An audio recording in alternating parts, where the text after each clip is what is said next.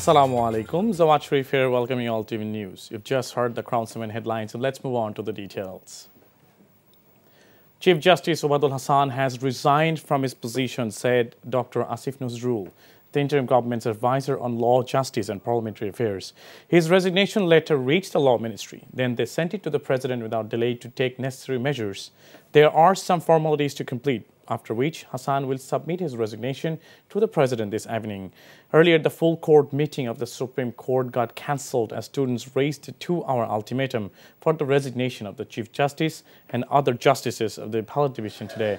Students marched towards the High Court premises demanding the resignation of the Chief Justice, other justices loyal to the autocrat Awami League, and restructuring of the country's judiciary. Meanwhile, the mass uprising leaders are not accepting the appellate division justice Ashfaqul Islam, who has been appointed as the acting chief justice. Meanwhile, five justices of the appellate division have reportedly decided to resign. Mass uprising leader Hasnat Abdullah said the protest of the students would continue until the chief justice and other judges of the appellate division resigned. Chief Advisor of the interim government, Dr. Muhammad Yunus, has said it is the responsibility of all to build the new Bangladesh. This is a responsibility to build the new Bangladesh, he said after meeting family members of martyred Abu Said in Rangpur. He said that all have to come forward to build a new Bangladesh, remembering the supreme sacrifice of Abu Said and others. Abu Said is the son of all families in Bangladesh, he said in this regard. Dr. Yunus said students will remember Abu Said when we pledge to to be like him. He also said that Abu Said is now in every house of the country. The martyr belongs to everyone, irrespective of their religion and background, he said. The chief advisor urged all to remain vigilant so that there is no anarchy. The interim government chief said that protecting all respective of their religion is the responsibility of all. জাতীয় পতাকা তুলে দেওয়া হলো এবং প্রধান উপদেষ্টা এবং কিন্তু প্রফেসর কোথাও গোলযোগ যেন না হয়, কেউ ধর্ম নিয়ে কথাবার্তা না বলে, কারণ আমরা এই মাটিরই সন্তান, সবাই অবশ্যই কাজে এদের সন্তানদের রক্ষা করা, জাতি ধর্ম নির্বিশেষে, এটা আমাদের এখন কর্তব্য। আমরা যেন এটা নিশ্চিত করি, সামনে গিয়ে দাঁড়াই। আবু সাইদ যেরকম দাঁড়িয়েছে, আমাদের ওরকম দাঁড়াতে হবে। যারা পার্থক্য করে যে এরকম সন্তান, ওরকম না। আমরা সবাই বাংলাদেশের আমরা বাংলাদেশেরই সন্তান। বাংলা আবু সাইদের মা, সবার এবং সবার মা আবু সাইদের যাতে তাকে রক্ষা করতে হবে, তাদের বন্ধের রক্ষা করতে হবে, তাদের ছেলে ভাইদের রক্ষা করতে হবে।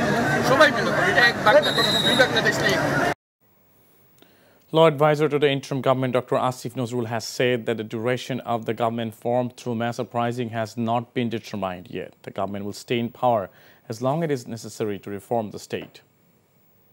এইটার মেয়াদের ব্যাপারে এখনো কোনো কথা হয়নি আপনাদেরকে দুইটা জিনিস মাথায় রাখবেন কাইন্ডলি সেটা হচ্ছে রাজনৈতিক দলগুলোর প্রত্যাশা থাকবে যে যত তাড়াতাড়ি সম্ভব নির্বাচন, আবার এই দেশে সাধারণ মানুষের যে সংস্কার আকাঙ্ক্ষা, সেখান থেকে প্রত্যাশা থাকবে এই সরকার যেন জরুরি কিছু সংস্কার করে যায়।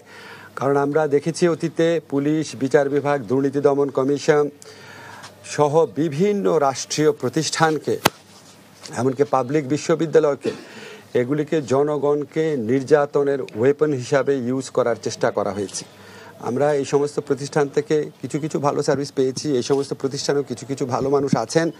কিন্তু পুরা সিস্টেমটা এমনভাবে দাঁড় করিয়েছিল যে এগুলি আপনার ভিন্নমত পোষণকারী মানুষ, মৌলিক অধিকার চর্চাকারী মানুষের জন্য এই প্রতিষ্ঠানগুলো একটা আতঙ্কে পরিণত হয়েছিল।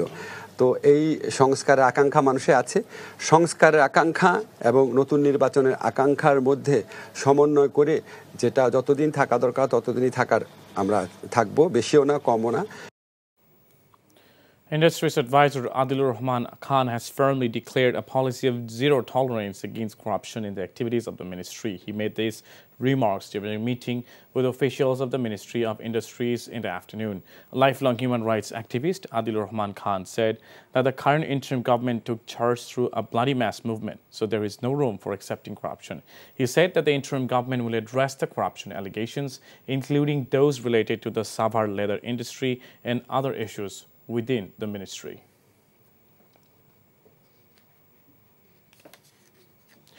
BNP Standing Committee member Salahuddin Ahmed is finally set to return home tomorrow after spending over nine years in India's Shillong.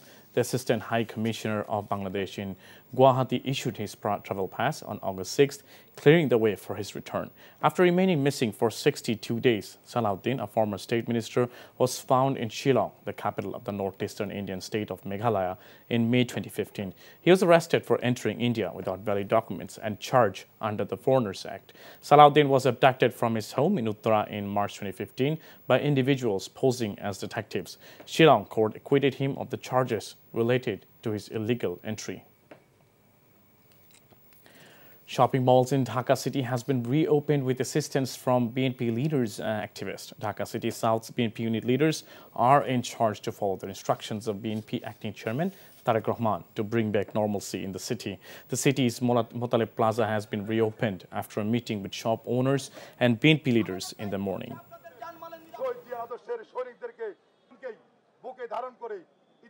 সারা বাংলাদেশকে দখলমুক্ত করতে হবে যারা আজকে এই দেশ পরিচালনা করার জন্য অন্তর্বর্তীকালীন যে সরকার আছে সেই সরকারকে সহযোগিতা করতে হবে। যারা আইন শৃঙ্খলা রক্ষার দায়িত্বে আছেন তাদেরকে আমাদেরকে সহযোগিতা করতে হবে। আমরা সকলে মিলে ঐক্যবদ্ধভাবে একটি সুন্দর বাংলাদেশ করতে যাই আমাদের দায়িত্ব হচ্ছে আপনাদের জানমালের নিরাপত্তা দেওয়া। এই কাজটা আমরা করছি। এই কাজটিতে আপনাদের সহযোগিতা দরকার। আমরা আপনাদের সাথে আছি। দল আপনাদের সাথে আছে। জনগণ আপনাদের সাথে আছে। আপনারা ভীত হবেন না। নত হবেন না এদেশ আপনাদের আপনাদের ব্যবসা আপনারা নির্বাধায় করবেন নিঃসংকোচে করবেন Operations have resumed at 538 police stations out of 639, approximately 84% across Bangladesh according to the police headquarters. Mainul Islam, Commissioner of Dhaka Metropolitan Police, told the media that around 60% police personnel joined office at DMP headquarters so far. The number will increase from tomorrow. The most of the police stations have resumed to work in metropolitan area, he added. Of the 110 police stations in metropolitan areas, 84 are currently operational. In the districts, 454 of the total 529 police stations have begun operating today. International news, U.S. Secretary of State Antony Blinken has welcomed the interim government in Bangladesh led by Nobel laureate Professor Muhammad Yunus. He welcomed the swearing in of Dr. Yunus to lead the interim government in Bangladesh news. Blinken said in this regard, sharing a brief message through his social media handle X, he said, the United States support his call for calm and peace. Blinken said that the U.S. remains committed to working with Bangladesh as it charts a democratic and prosperous future for the people in Bangladesh. The United Kingdom has welcomed the appointment of the interim government in Bangladesh led by Chief Advisor Professor Muhammad Yunus. The interim government has the UK's support as it works to restore peace and order for the sake of the Bangladeshi people, British Foreign Secretary David Lammy said in a statement. He said that the people of Bangladesh deserve accountability and a peaceful pathway to an inclusive democratic future. London urged all actors to prevent further violence and loss of life, Lammy added in this regard. And that is all from the newsroom for now. To know updates and videos of this bulletin, please visit our website www.ntvbd.com. Besides, visit our YouTube and verified Facebook page for updates about NTV's all popular programs and bulletin. Our next bulletin, Shondar will appear in Bangla at 7.30 p.m. Thank you for being with us and have a good time.